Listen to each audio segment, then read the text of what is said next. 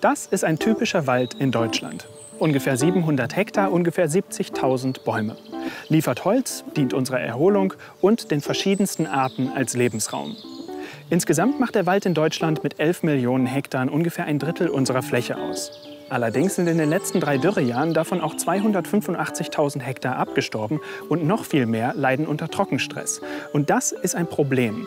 Nicht nur, weil sich dadurch Schädlinge besser verbreiten und potenziell noch mehr Bäume absterben könnten, sondern auch, weil der Wald damit eine wichtige Funktion für den Klimaschutz nicht erfüllen kann.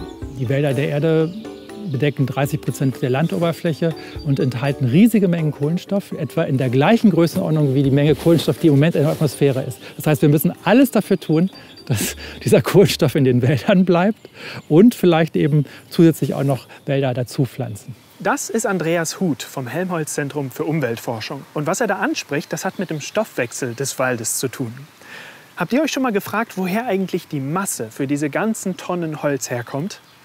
Aus dem Boden vielleicht? Naja, da kommen eher Wasser und Nährstoffe her. Nein, die meiste Masse dieses Baums war mal in der Luft. Das ist ursprünglich CO2 gewesen. Und das hat der Baum bei der Photosynthese mit den Blättern aufgenommen und in der Biomasse eingespeichert. Der Wald ist also gleichermaßen Kohlenstoffsenke und Kohlenstoffspeicher. Und dass der Kohlenstoff da drin bleibt, das ist natürlich nicht nur für den Baum, sondern auch fürs Klima wichtig.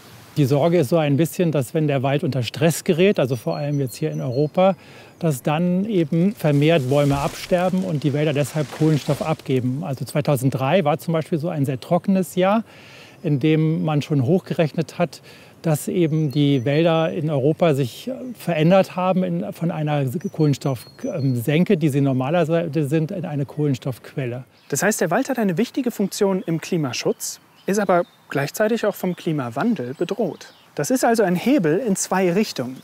Und das hat sich auch in den letzten drei Jahren gezeigt, die nämlich deutlich trockener waren als sonst. Und man sieht daran schon, dass bestimmte Baumarten äh, größere Probleme damit haben. Also die Fichte, die dann sozusagen gestresst war und dadurch wiederum durch die Borkenkäfer äh, befallen wurden.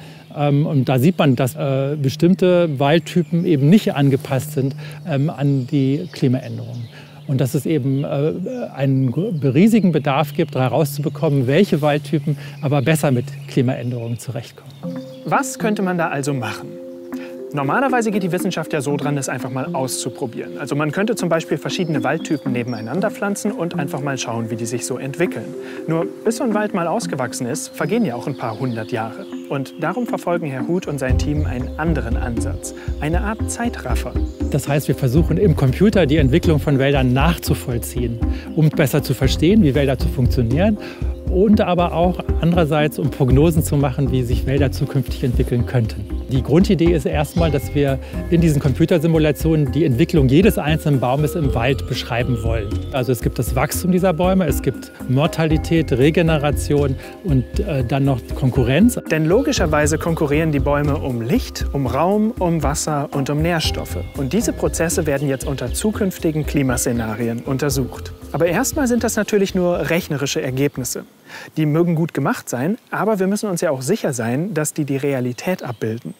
Und darum muss das Ganze auch regelmäßig überprüft werden. Auch das wird gemacht. Also man, man äh, versucht, äh, einen Wald äh, nachzusimulieren, der genau exist der, äh, so existiert hat und, äh, und wo man auch weiß, wie er sich nach zehn Jahren verändert hat und versucht, das mit dem Simulationsmodell nachzusimulieren. Genau. Und so, so äh, verfeinert man dann, dann die Parametrisierung und verbessert das Modell. Also das ist ein iterativer Prozess, immer in Wechselwirkung mit dem, was man auch im Feld sozusagen gemessen hat ähm, über diese Wälder. Das macht diese Entwicklung von solchen Waldmodellen sehr aufwendig, dass man äh, immer wieder zeigen muss für verschiedenste Situationen, dass diese Waldmodelle die Entwicklung des Waldes richtig beschreiben.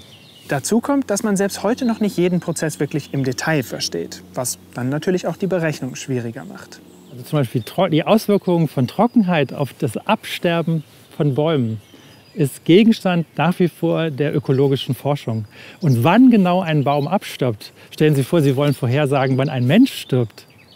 Da würde man sagen, das kann man nicht.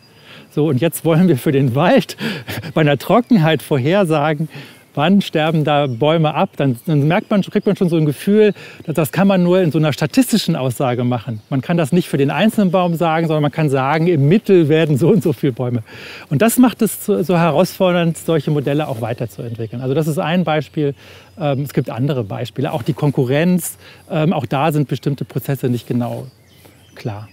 Aber von solchen Herausforderungen lebt natürlich auch die Wissenschaft, denn gerade die machen es erst richtig spannend. Bleibt also noch die Frage, wie denn jetzt der Herr Huth und sein Team die Zukunftsfähigkeit verschiedener Waldtypen in Bezug auf den Klimawandel genau ermitteln.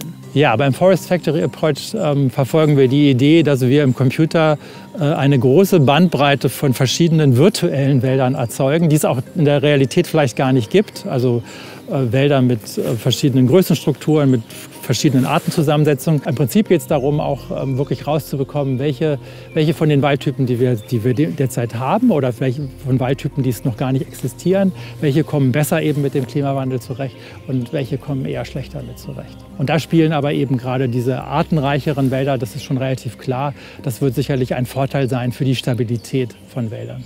Das ist nämlich einer dieser wichtigen Schnittpunkte, bei denen Artenvielfalt und Klimaschutz miteinander verknüpft sind. Verschiedene Arten sozusagen können verschiedene Rollen übernehmen im Ökosystem. Und wenn jetzt zum Beispiel wie bei der Fichte vor allem Schädlinge auftreten und es gibt nur diese eine Baumart, dann äh, sind die Ausfälle gleich massiv. Dagegen, wenn man viele verschiedene Baumarten hat im Wald, dann fällt eben nur eine Baumart und die anderen Baumarten können sozusagen äh, den Wald trotzdem weiter erhalten. Das heißt, wir können den Wald, den wir haben, widerstandsfähiger machen, indem wir ihn abwechslungsreicher oder man könnte auch sagen natürlicher gestalten. Also verschiedene Baumarten, verschiedene Baumgrößen, Baumalter und auch Teile der toten Bäume als Totholz liegen lassen. Denn auch die sind Ökosystem für viele verschiedene kleinere Arten, die aber im großen Ganzen der Waldgesundheit eine wichtige Rolle spielen. Denn wir dürfen nicht vergessen, die ganzen wichtigen Funktionen, für die wir den Wald ja brauchen, sei das Forstwirtschaft oder Klimaschutz, Artenschutz oder auch unsere Erholung, die kann der Wald natürlich nur liefern, wenn es ihm gut geht. Also, wenn er gesund ist.